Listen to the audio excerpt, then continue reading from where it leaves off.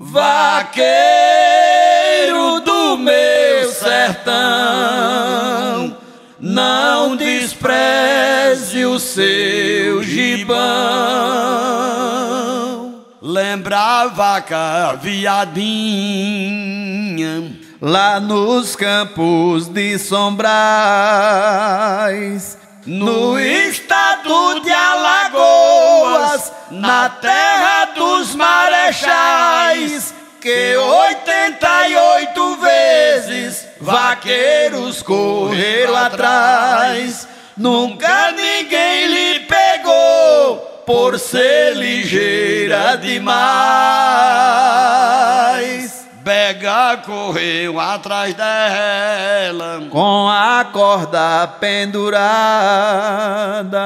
Mas a vaca foi embora dentro da mata fechada. Saulo Pageu também com macarrão na parada. Pegaram a filha da vaca, mais famosa e respeitada.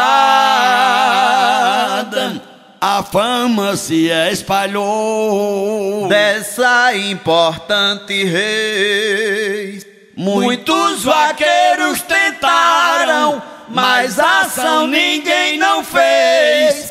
Um corria, outro corria, e a vaca com rapidez. Em oitenta e oito carreiras, sem ser pego uma só vez. Seu dono é Edivaldo, cidadão bom e humano. O campo que a vaca corre é de Zé Domiciano. Postou o dono da vaca, dizendo nem façam plano. Pra pegar a viadinha, tem que ser bom sem engano. Com Renan da Cachoeira, aposta ali se informava. E Edivaldo dizendo que a vaca ninguém pegava. O Renan postou e que bons vaqueiros levava. E a fama de viadinha brevemente se acabava. O Gil Cachimbeiro era um dos vaqueiros escolhido para pegar essa vaca por ser muito destemido, mas estava machucado com o braço muito doído. Por isso veio de Sergipe um trio bem garantido. Rei não levou três vaqueiros. O primeiro foi Pedrinho. No seu cavalo Corolla e Zé Fernando pertinho. Com cavalo Hilux enfrentou pau e espinho. E pavão no cavalo ringue pega qualquer boi sozinho. Os que postaram na vaca, Edivaldo e outros mais.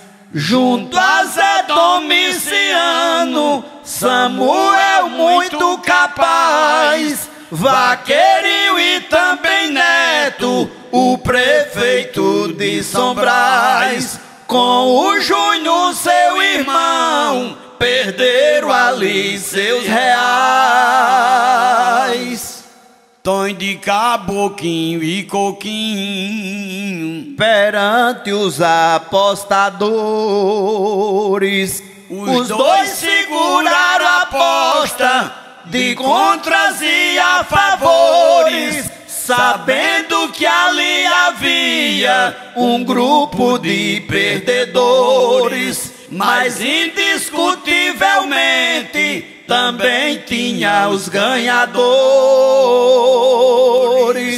No dia 6 de dezembro de 2015 o ano, Pedrinho com o Zé Fernando e Pavão sem ter engano foram pra correr a vaca de pegarem tinha plano orgulhando a profissão do vaqueiro sergipano.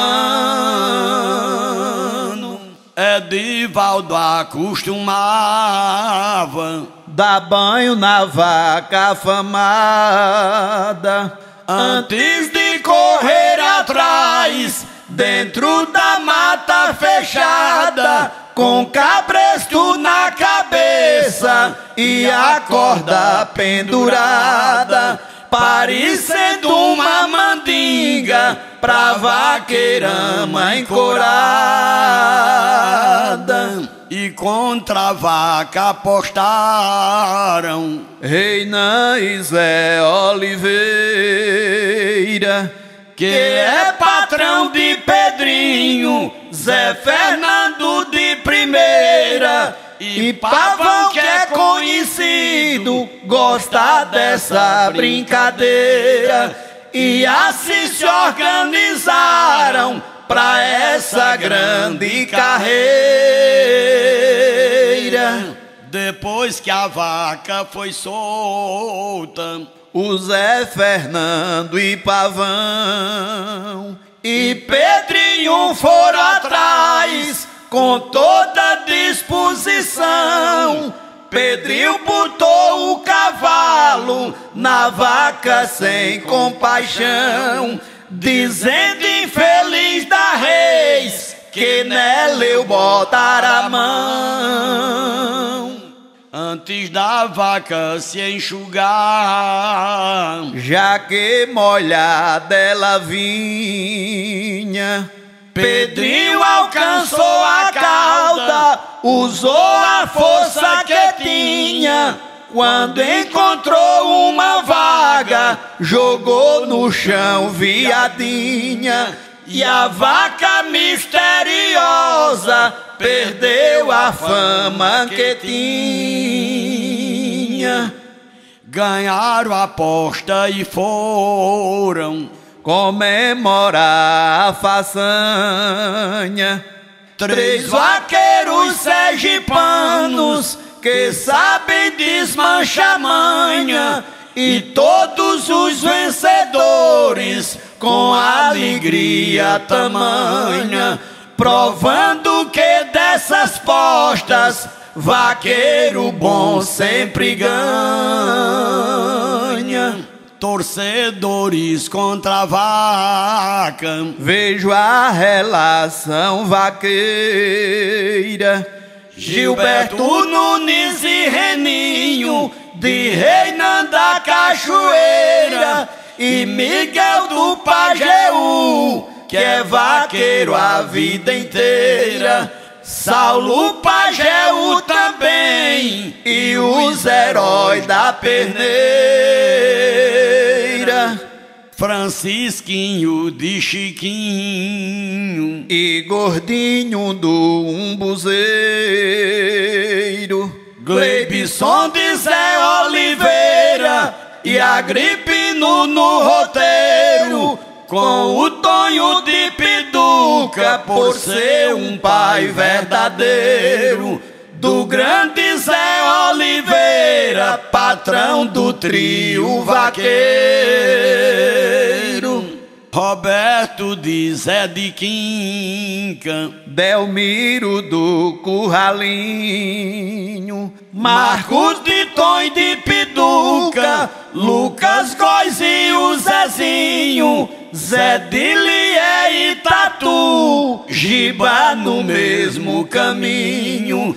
Torcedores contra a vaca que foi pegar por Pedrinho. O Elias Cachimbeiro com a mesma opinião. O fazendeiro Pafu, Pedrosa com muita ação. Gil Cachimbeiro também, mesma posição, enaltecendo o valor do vaqueiro campeão. Também o sargento Marcos de Gararu setor. E o nosso amigo Almi é muito merecedor. Solon e Antônio Almeida e Antelmo com valor. Lucas de aqui da Ban e Ramon grande apostador. Vemos o Elto de Gino e toda a classe vaqueira que viram tirar a fama dessa vaca corredeira. Zé de Almeida e Paulo Nunes, uma dupla atuadeira. Parabenizam Reinão e o grande Zé Oliveira, vaqueiro do meu sertão. Não despreze o seu gibão.